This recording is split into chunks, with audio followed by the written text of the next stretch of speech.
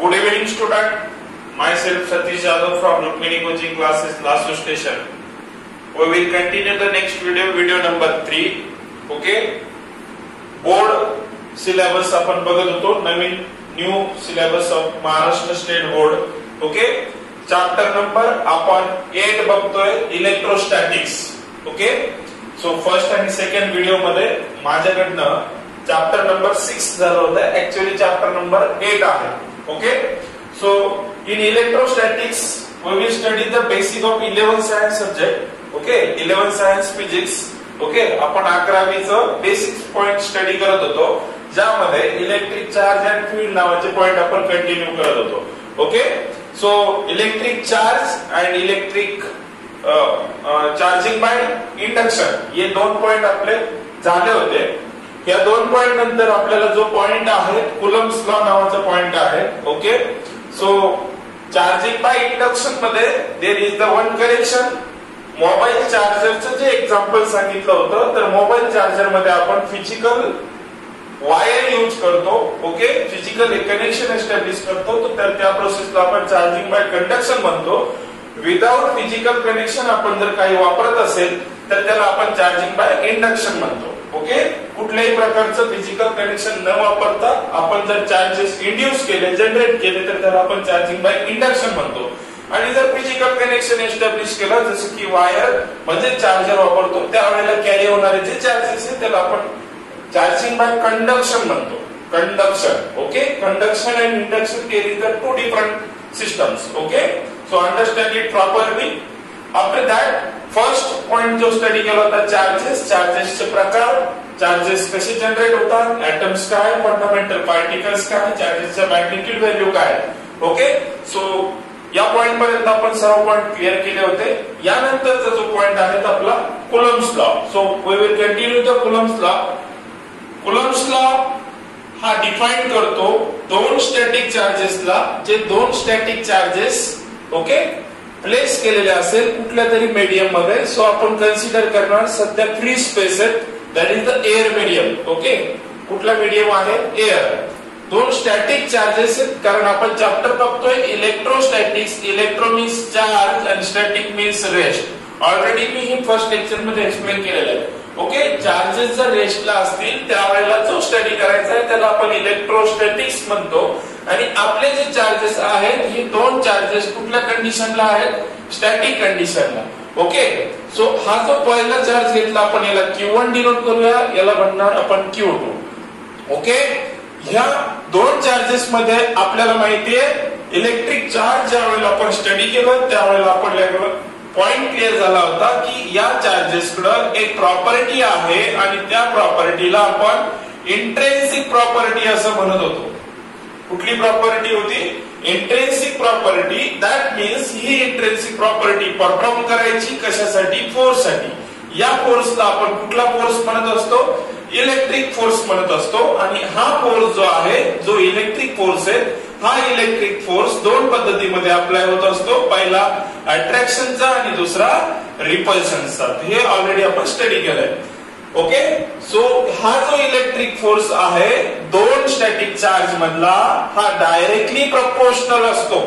Okay product of their charges product means दोन चार्जेसचं multiplication आणि तोच फोर्स हा इन्व्हर्सली प्रपोर्शनल असतो square of the distance between ten so we can take the first charge that is the Q one second charge that is the Q two आणि हे दोन charge R इतक्या distance वरती आपण separate केलेले.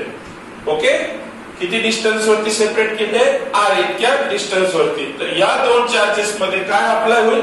Force apply होईल. हा जो फोर्स असेल हा डायरेक्टली प्रपोर्शनल आहे according to the first statement of okay Coulomb's law okay directly proportional to the product of charges ठीक आहे? This is the equation number first so after that हाच force पुन्हा इन्व्हर्सली प्रपोर्शनल आहे one upon R square equation number second why we can take the R R is the distance between them आणि त्यांनी सांगितलंय inversely proportional to the square of the distance between them त्या दोघांमध्ये असणारे जे distance आहे त्याचा काय असतो? स्क्वेअर हे इन्व्हर्सली प्रपोर्शनल असतं. प्रोपोर्शनॅलिटी आपण ऑलरेडी बघितलेलं आहे. एक्स डायरेक्टली प्रोपोर्शनल वाय असेल तर याचा याचा मिनिंग होतो एक्स जर इन्क्रीज झाला तर वाय सुद्धा इन्क्रीज होत असतो. ओके एक्स जर डिक्रीज झाला तर वाय सुद्धा डिक्रीज होतो. That is called as a directly proportional दोन्ही क्वांटिटी जर समान पद्धतीने सारख्या पद्धतीने सेम टायमिंगला जर प्रोसेस करत असेल तर त्याला आपण डायरेक्टली प्रपोर्शनल म्हणणार. आणि X inversely proportional to the Y घेतलं आपण. ओके सो एक्स जर इन्क्रीज झाला तर वाय डिक्रीज होईल. एक्स जर डिक्रीज झाला तर वाय इन्क्रीज होईल. Okay this is called as inversely proportional that means इथं आपण दोन इक्वेशन स्टडी केले. F proportional to the Q one Q two आणि F inversely proportional to the R square याचा मिनिंग होतो हा फोर्स तेव्हाच वाढेल जेव्हा या चार्जेसची मॅग्निट्यूड व्हॅल्यू वाढेल. क्यू वन आणि क्यू टू च्या प्रोडक्टची मॅग्निट्यूड व्हॅल्यू जर इन्क्रीज झाली तर हा अट्रॅक्शन अट्रॅक्शनचा फोर्स सुद्धा किंवा रिपल्शनचा फोर्स सुद्धा हा इन्क्रीज होईल. बट जर त्या दोन चार्जेस मधला आपण डिस्टन्स जर इन्क्रीज करत गेलो डिस्टन्स जर वाढवत गेलो तर हा फोर्स डिक्रीज होणार आहे. ओके आणि हे जर डिस्टन्स आपण कमी करत गेलो तर हा फोर्स जास्त होणार आहे. म्हणजे हे दोन चार्जेस जर आपण दूर घेऊन गेलो तर त्यांच्यामध्ये जो अट्रॅक्शन किंवा रिपल्शनचा फोर्स आहे तो कमी होणार आहे. आणि जवळ जर कॅरी केलं तर जास्त होणार आहे. Okay this the condition So we can combine the these two equations F proportional to the Q1 into Q2 upon R square. So आपल्याला माहिती आहे प्रपोर्शनॅलिटीचं साइन रिमूव्ह करण्यासाठी आपल्याला एक कॉन्स्टंट यूज करावा लागतो.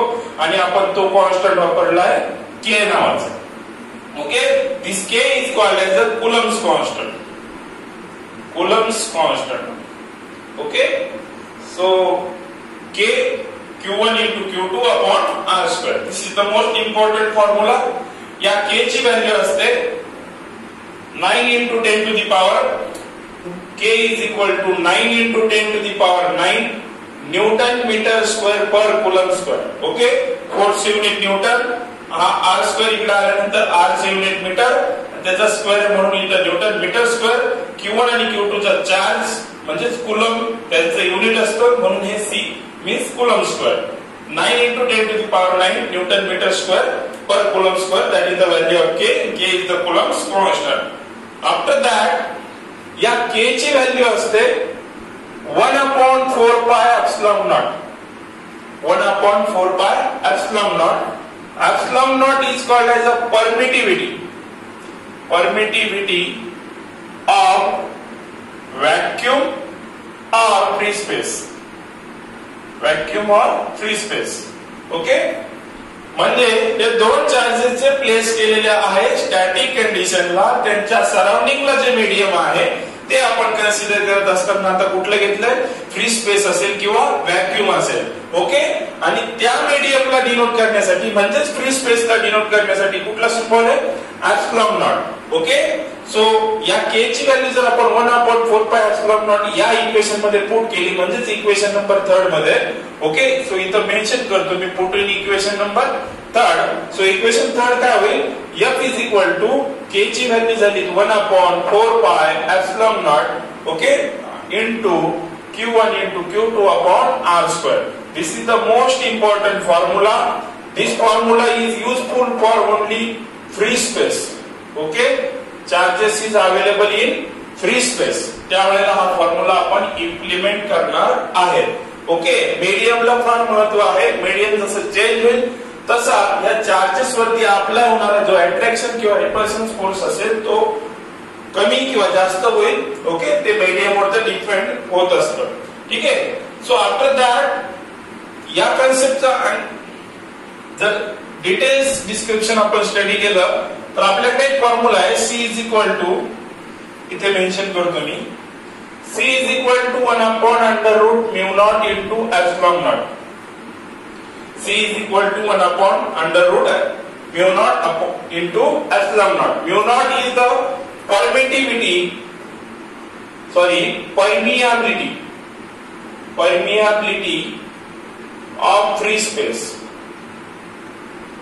this concept is useful in magnetic concept okay and this is called as a permittivity permittivity of free space okay c is the light speed of light c is the speed of light one upon under root mu naught epsilon naught हा formula आहे magnetic effect of electric current मध्ये